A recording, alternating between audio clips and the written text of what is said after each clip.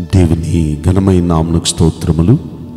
ఈ వాగ్దానం వింటున్న మీకందరికీ మన ప్రభువును ప్రియరక్షకుడైన యేసుక్రీస్తు నామములో శుభములు. మా హృదయపూర్వకమైన వందనములు తెలియచేస్తున్నాం. ఈరోజు దేవుని వాగ్దానం యశాగ్రంథం ముప్పైవ అధ్యాయము పంతొమ్మిదవ వచనం. ఆయన నీ మొర్ర విని నిశ్చయముగా నిన్ను కరుణించును. ఈ మంచి వాగ్దానం మన మంచి దేవుడు మనందరి పట్ల నెరవేర్చునుగాక. ఆమేన్. ప్రియ దైవ జనాంగమా మన దేవుడు ప్రార్థనలు ఆలకించువాడు అని పేరు ఆయనకి. మనందరి ప్రార్థనలు మనందరి మొరలు ఆయన ఆలకించి ఖచ్చితంగా మనల్ని కరుణిస్తాడంట. ఖచ్చితంగా మన ప్రార్థనలు మన మొరలు ఆయన ఆలకిస్తాడంట. అలా ఆయన మన మొరలు ఆలకించి మనల్ని ఆయన కరుణించాలంటే మనం ఎలా ఉండి మొర్ర పెట్టాలి?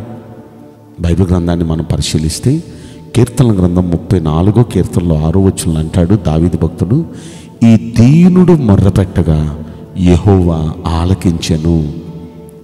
అతని శ్రమలన్నిటి నుండి అతన్ని రక్షించెను అంటున్నాడు. అంటే ఇది ఎలా ఉండి మొర్రపెడితే దేవుడు ఆలకించాడంటే దీనునిగా ఉండి మొర్రపెట్టాడు నిజంగా దీనునిగా ఉండి మొర్రపెట్టిన మొర్రను ఆయన ఆలకించక మానడు. మనం బైబిల్ గ్రంథంలో యశ్యా గ్రంథం అరవై ఆరవ అధ్యాయంలో మనం చూస్తే అక్కడ రెండో వచనంలో ఒక మాట రాయబడి ఉంది. ఎవడు దీనుడై నలిగిన హృదయము గలవాడై నా మాట విని వణుకుచూ ఉంటాడో వానినే నేను దృష్టిస్తున్నాను అంటాడు. అంటే దీనులుగా ఉన్న వ్యక్తి మీద ఆయన దృష్టి పడిద్ది. ఆయన కనుదృష్టి నిలుపుతాడు.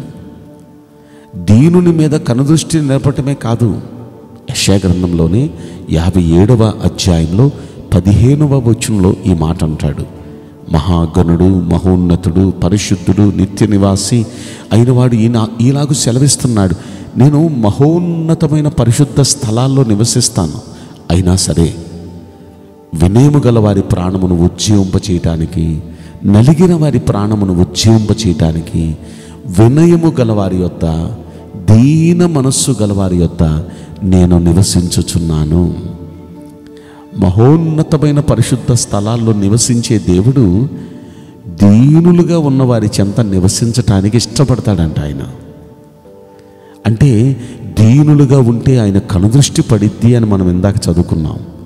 కనుదృష్టి పడితే చాలు ఆయన మన చెంతకొచ్చి మన దగ్గర నివసిస్తాడంట. దేవుడే మన దగ్గర నివసిస్తే స్వర్గం ఎక్కడుందండి? ఆయన ఎక్కడుంటే అక్కడే కదా స్వర్గం. దేవుడే మన చెంతకొస్తే మనం ఎక్కడుంటే అక్కడ మనకు కూడా స్వర్గమే. మనం ఇంట్లో ఉంటే మనకి ఇంట్లో ఒక స్వర్గం. వ్యాపారం దగ్గర ఉంటే వ్యాపారం దగ్గర ఒక స్వర్గం.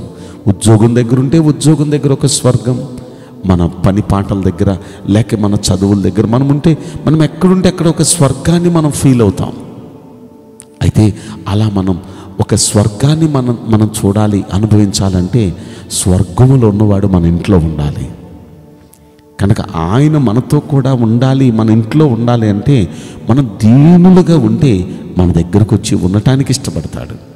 ఆయన ఉండటమే కాదు మనం పేతురు రాసిన మొదటి పత్రికలో ఐదవ అధ్యాయంలో ఐదవ వచనంలో మనం చూస్తే దేవుడు అహంకారులను ఎదిరించి దీనులకు తన కృపను ఇచ్చును అని.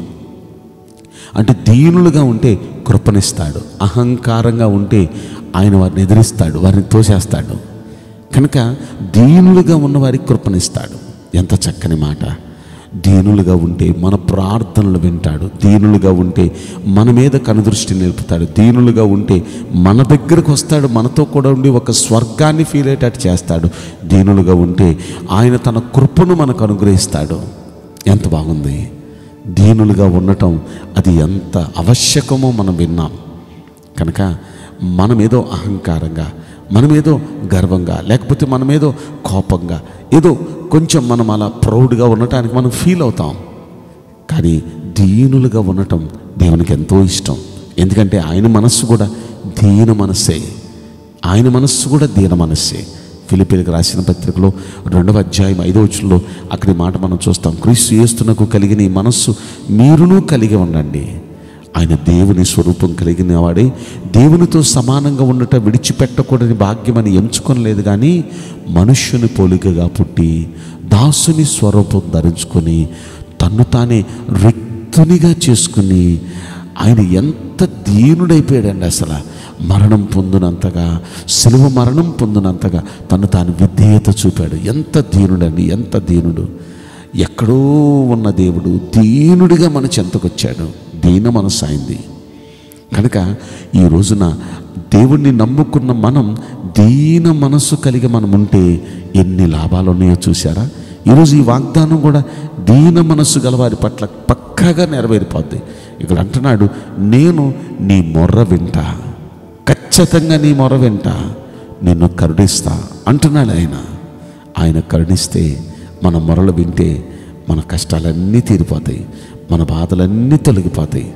ఆయన మొర్ర మన మొర్ర వినుగాక అలాంటి దీన మనస్సును నాకు ఇవ్వండి అని ప్రార్థన చేసి దీనుడు ఉండే ప్రయత్నం చేద్దామా? ప్రార్థన చేసుకుందాం. పరిశుద్ధుడా ప్రేమగల యేసురాజా మీ పరిశుద్ధ బంగారు పవిత్రమైన నామ్మునకు నిండు మనసుతో కోట్ల కొలదిగా స్థుతులు స్తోత్రములు వందనాలు చెల్లిస్తున్నాం. ఈ వాగ్దానం వింటున్న ప్రియుల జీవితంలో దయచేసి వారి మొరలు మీరు ఆలకించండి. దయచేసి వారిని కరుణించండి. అయ్యా దీన మనస్సు కలిగి ఉండుట నేర్పించండి. ఎందుకంటే దీనులుగా ఉంటే ఎన్ని లాభాలు ఉన్నాయో వాటన్నిటితో పాటు మా మొరలు మీరు ఖచ్చితంగా వింటానంటున్నారు కరుణిస్తానంటున్నారు. కనుక అయ్యా ప్రతి ఒక్కరూ అలా దీనులుగా ఉండి వారి మొరలన్నిటికీ జవాబు పొందినట్లు సహాయం చేయమని ఈ కొద్ది మనవులు నజరుడైన యేసు క్రీస్తు ప్రశస్తమైన నాములో మిక్కిలి వినయంతో ప్రార్థించి బ్రతిమలాడి వేడుకుంటున్నాం ప్రియ పరలోకు తండ్రి. Amen may God bless you all thank you